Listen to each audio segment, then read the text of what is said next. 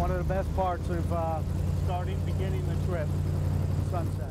It's a slow, peaceful ride at first. Headlamps and spotlights help navigate through these canals when the sun goes down.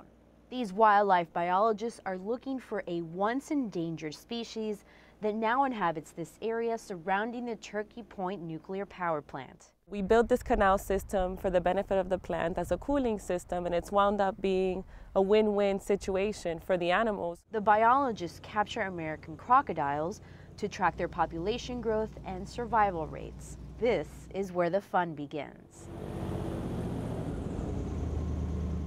If they can't catch it, it's on to the next one. Some crocodiles are captured using a snare, others by hand, and some on land.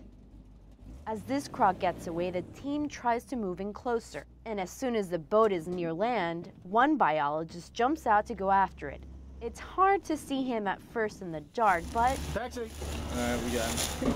there he is, coming out of the bushes holding a 13 pound American crocodile. I mean, when you're when the minute you get on the bow of the boat or in the boat and you've got the snare, you're nervous. You know, you, you want to capture the animal, and you don't want to hurt the animal. You want to make sure everything's right, and you have to think of safety. All right, good catch.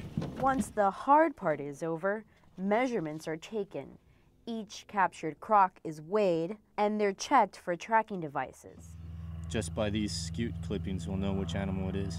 Then it's back into the water. They're very misunderstood. All reptiles are. So once you get to uh, understand them, you figure out that they're they're really neat animals. All in a day's work for the sake of preserving the American crocodile.